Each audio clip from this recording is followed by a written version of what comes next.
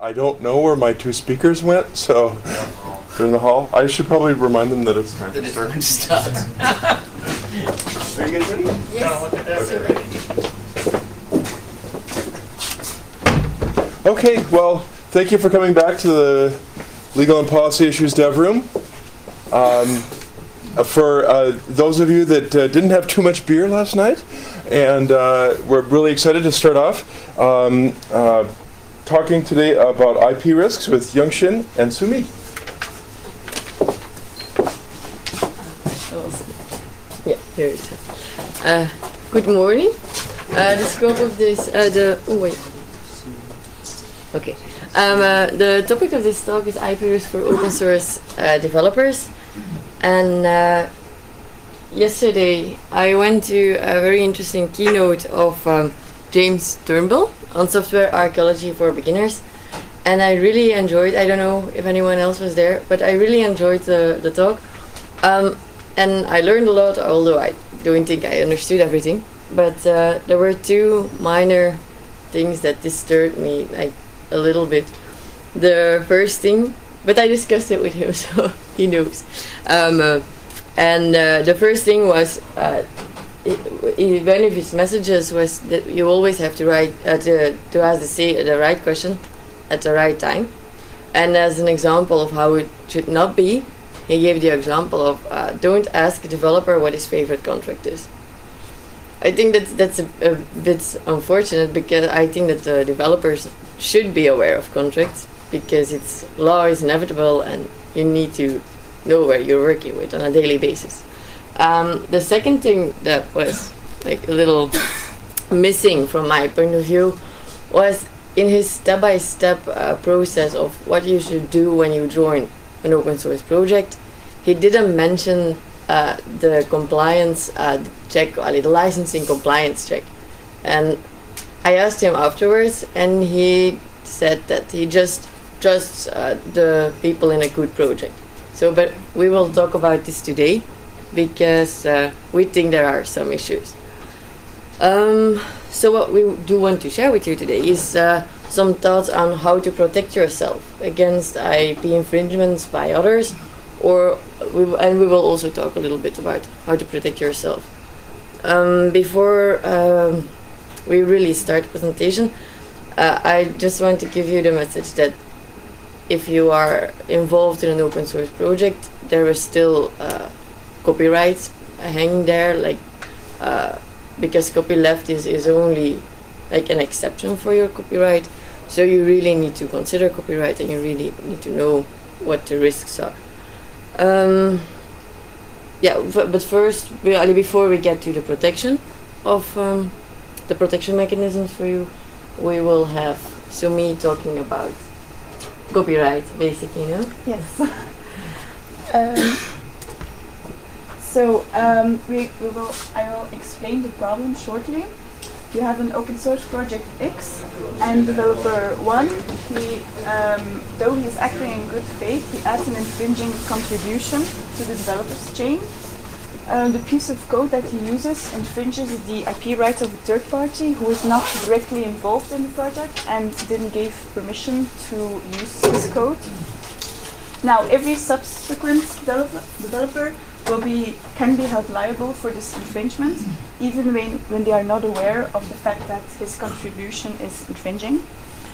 In general, creating a computer program, um, even open, open source, completely unaware of the existence of any IP rights of a third party, it can be used as a defense to willful uh, IP infringement, but it's not a um, defense to IP infringement in general, because it is common for open source projects that they are developed by a community rather than uh, one person or one organization. These problems occur in real life.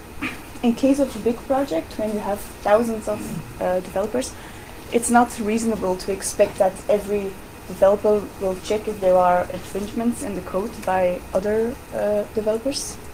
But in smaller projects, um, these expectations might be different. You can use version management systems to see which developer made which contribution to the project. the risk of IP infringements Um, it is not a specific problem to open source projects, but of course the risk is greater because open source allows you to distribute and modify the software uh, freely. The infringement um, will carry through uh, subsequent versions of the program and further development of the uh, software. So a small and quick remark is that everything we say today is uh, seen from a Belgian point of view. Of course, when you have an international project, it's possible that there is another law uh, applicable. So um, this can also have uh, influence on the outcome of the result of your claim. So the problem consists of two elements. When do you have an IP risk and how can you protect yourself? So first I will explain about when you will have an infringement. In, uh, I will explain you which kind of intellectual property rights should be taken into account when you are dealing with open source projects. Um, the most important are, are copyright and patent law. First, I will tell you something about copyright and how you can know if the source code of someone else is protected by copyright. So in Belgium, in general, computer programs are protected by copyright uh, because there's an assimilation with literary works with the Berne Convention. So it's not exactly the same as general copyright, but you can see it as, as a kind of modified version of copyright for software. Because of the general principle that copyright doesn't protect the underlying idea of your program, but only the original expression, uh, you are allowed to copy the functionality of a computer program, provided that you do not copy the source code, but you rewrite it to your own original code. The mere fact that software is developed in an open source context does not mean that there's an exemption on this general principle that, cop that copyright um, plays a role. In Belgium, we don't have a definition of what a computer program exactly is, but for instance, the UK does. So it is possible that different elements of your program are protected in different countries. um, the European Court of Justice did um, indicate that your object code, source code, and your preparatory design will be can possibly be considered as an expression of your um, computer program. What matters is that your uh, expression enables the reproduction of your computer program and it enables the computer to perform its task.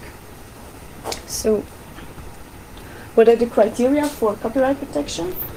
Um, you need originality, and Article 1 of the European Software Directive says that the computer program shall be protected in the sense that it is the author's own intellectual creation, um, in the sense that he made creative choices that are an expression of his um, own personality. Uh, so you cannot apply any other criteria for copyright protection. There will be given protection to the expression in any form of your uh, computer program, provided that the nature uh, is such as that the computer program can result from it in a later stage. As a consequence, you will not get protection for your functionality of your program, the programming language, and format of data files, data files, and um, the graphic user interface. Um, nevertheless, a graphic user interface can be protected by general copyright if it fulfills the criteria of um, originality. Um, this also applies to the programming language. It can also be protected if it is an original expression. So are there any formalities to obtain copyright? There are none. The mere act of creating your computer program is sufficient to obtain copyright protection. It's also not necessary that your software is finished, so you will be able to get protection for every stage of your computer program. Um, and who is the author? In principle, it is a creator. You have some um, assumptions for, in the case of um, employees or um, or when it's in an um,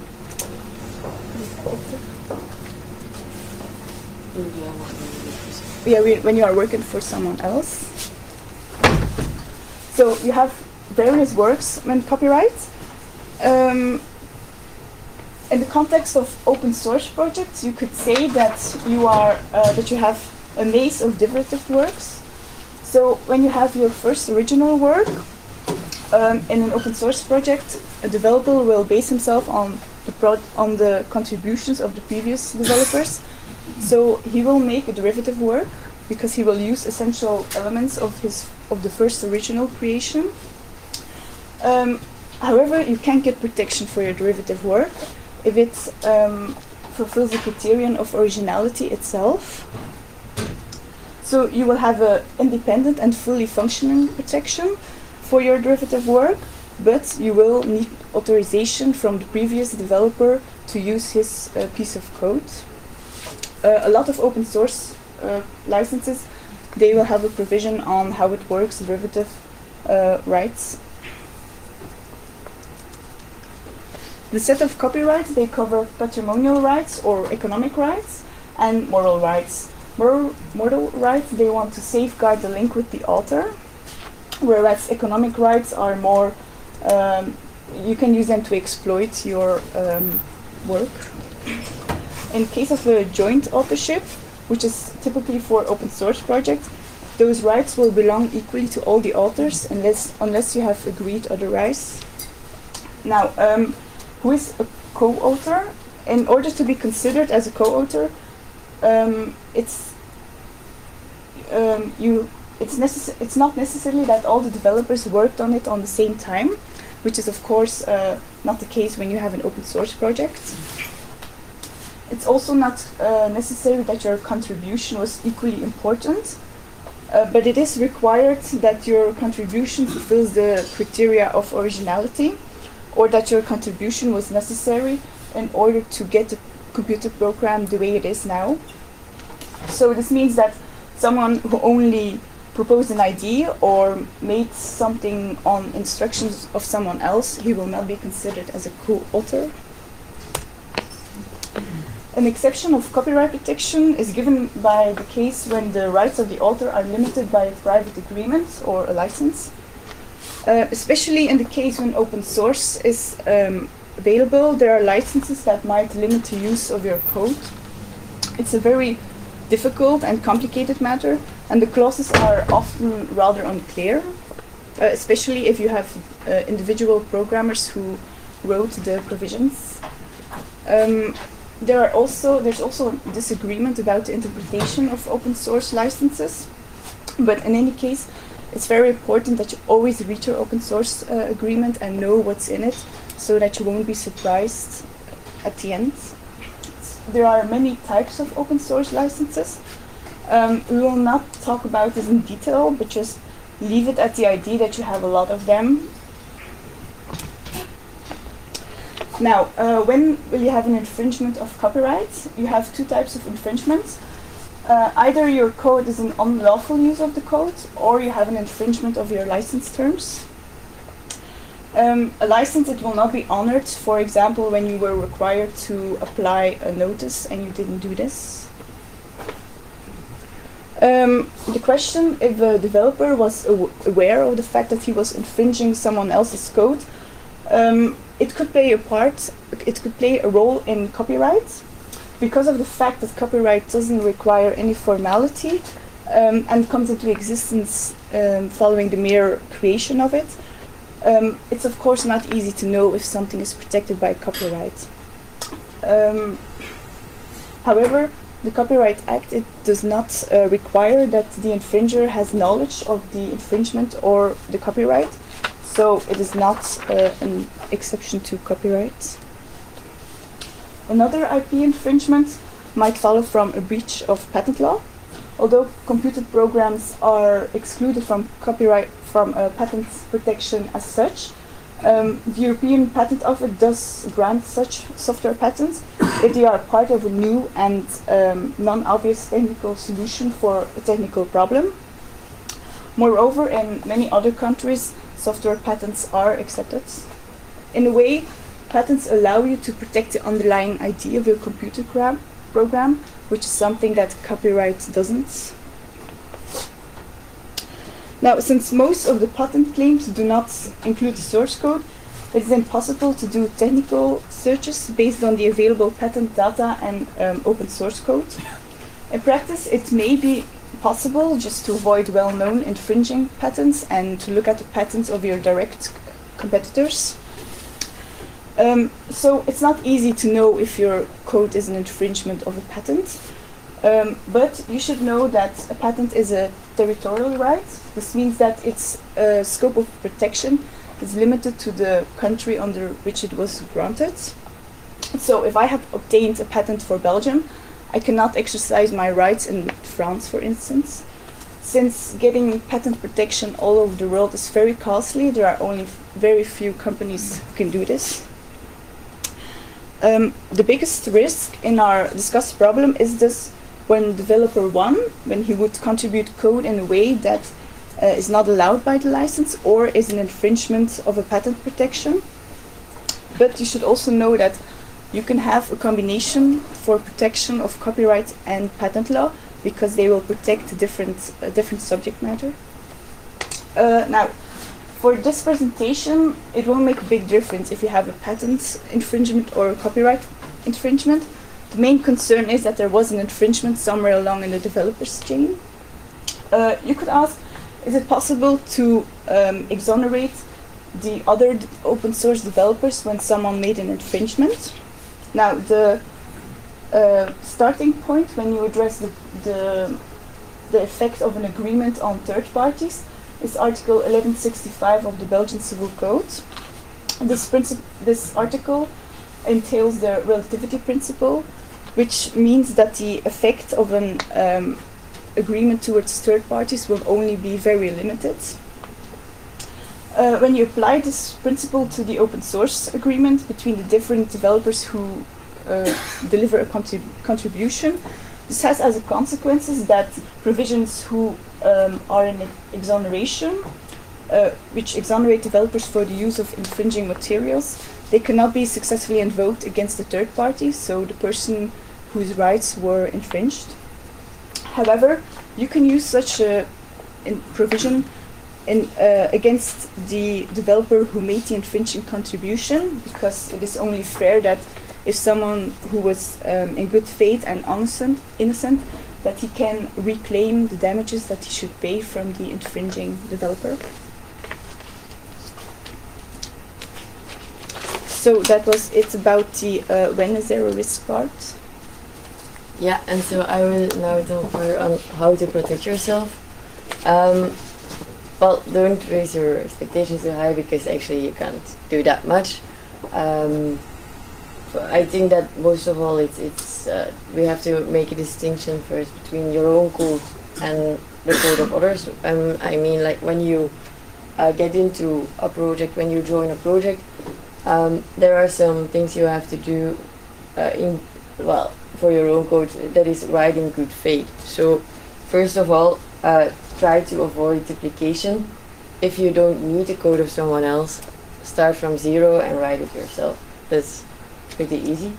And then also keep records. So if you keep clean and clear records of, of all your actions, it will be easier for um, the next uh, contributors in, in the project to to check your code and to understand what the legal obligations are that are, are connected to, to your code. Um, and then uh, about um, the code of others is, I call it here, uh, joining uh, in good, good faith. So then there are some preventive mechanisms and some remedial efforts. So about prevention is uh, you yeah well first of all only contribute uh, clean code yourself again if you you also for when you join. And then be aware of the previous contributions. Uh, this means that you need to identify uh, all the pieces of the code and where they come from. You need to identify the uh, the person the developer who wrote it the licenses uh, that are that are burden the code and what the obligations and limitations are that follow from these licenses um, so therefore you need to read the documentation and that will be a lot of work. Um, if, uh, well yeah, you can have open source insurances, but due to the fact that they're quite expensive and they not, not cover everything, all the legal issues, they don't seem to become very popular. So what to do if you have uh, figured out that someone previous uh, has used infringing code. Well, first of all, you can try to modify the code, but yeah, that will be very time consuming and me consuming. But so I guess that's only a solution when you're in the ver- very early stages of the project. And then secondly, you can negotiate uh, additional licenses because if uh, a previous person was the author of the code, he has the right to, yeah, well, give another license with other obligations and other limitations. So, I guess that we our main conclusions are that there are no crystal clear conclusions solutions, and um, a stitch in time saves nine. Uh, read the licenses and try to comply as, as good as you can, basically. Yeah, that was it. So if someone has questions, like more concrete questions. Any questions? No? Okay, well, thank you very much.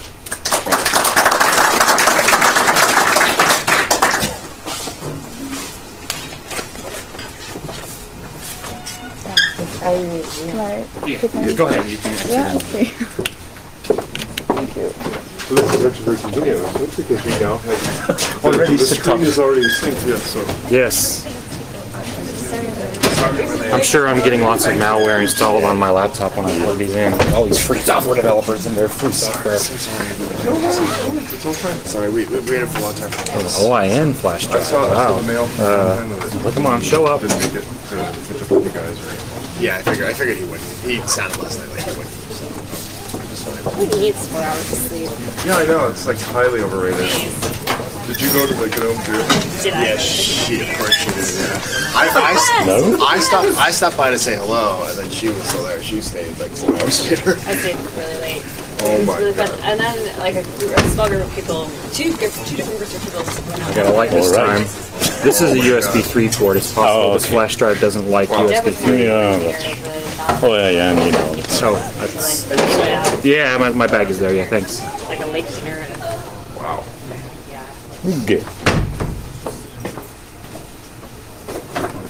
Yes, it looks like it's. That's easy. Ta-da! Yeah. Yeah. Great. Do you want to introduce us? Um, sure, um, Say it again. are you, uh, ready to go? Yeah. Okay. Well, I You think, can if you want. I, I don't mind. Put- no, no, I, I, it actually, you've heard me this. Yeah, okay, then I would be happy. Um, and I think that you have this time, is do a, you have time yet, or? I, is- we haven't had very many repeat speakers, but Alexis is a repeat uh, Dev Room speaker, so. But no, his, it will be. I'm not. It's new content. He was on a panel. It's like me. He's been on panels, but Does it- I have never spoken either. He's in the same situation I am in. Yeah, we should have, we should have bugged Jerv to su- submit a talk. I'm sorry I missed you. Or Martin, Martin, you could submit a talk. Stand up and. Yeah, why did Martin? Martin, come on. You still have time. You can have my slot. Did you, did you manage to connect it up? Yeah, Jeremy actually solved the problem. I talked to Jeremy for an hour last night about it, and he solved everything. So it's all connected. So, so oh, I time wise. I think we've got, uh, Yeah, so But how can you do you have a, do you have a time thing? Yeah. So it's nine thirty. This thing will start. Right? Yeah, I, mine- I think mine is more accurate than yours. I think it's. But mine just synced with NTP this morning. Yes. Well then, and so what's your point? My point is, mine is is my only microseconds off. I got Microseconds off, that's having okay. several operations? But it's Don't you know? synced- It's synced like like an hour ago. Don't with you know, the NTP. don't you know the Android bug about how American phones are, what is it, thirty seconds off? But it's synced with. I have the NTP client installed. It's synced it's with got a NTP an bug. hour ago. It's got a bug. It did 30 seconds in two hours. No, no, no, it's because of the off, there's like, it didn't take into account some offset thing. It's thirty seconds wrong. Even if you have the NTP. Even if you have client. an, No. yes. Ask Paul, he was here yesterday, he would know. I don't believe So, this. uh, I believe if the NTP client's not installed. If you have an NTP client installed, you're telling me the NTP guys didn't didn't. This isn't that? an NTP thing, it's something about the, finally announced. Goofy OS thing, Already, right? These devices made I'm- I'm already looking back. Well, then maybe maybe Paul fixed it, so I take it all back. Oh, that's yeah. So I'm running Paul's code. Wait a second. I'm running Paul's code. I just realized what Paul you were talking about. The guy whose code I'm running, you said it's broken. No, no, no. I thought you were running. I thought you were running this. Yeah, I didn't. I forgot that you were running the, the real thing. I'm running the real thing. I don't run that Google crap. Oh, okay, just checking.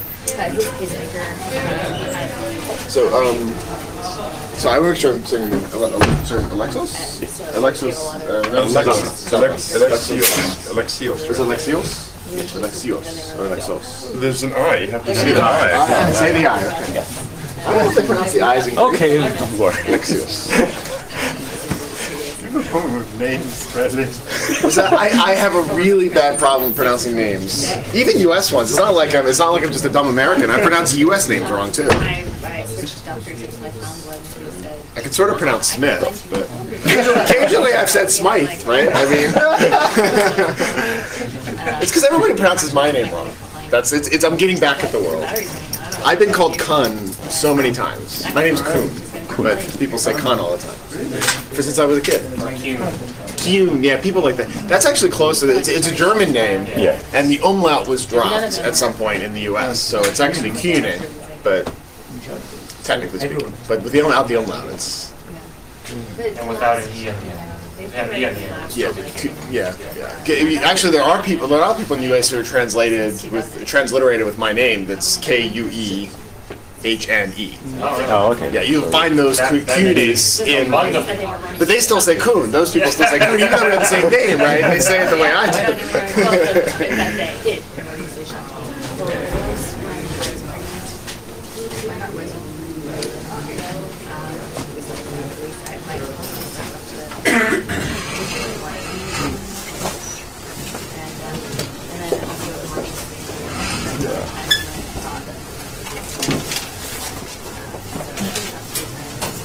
And you can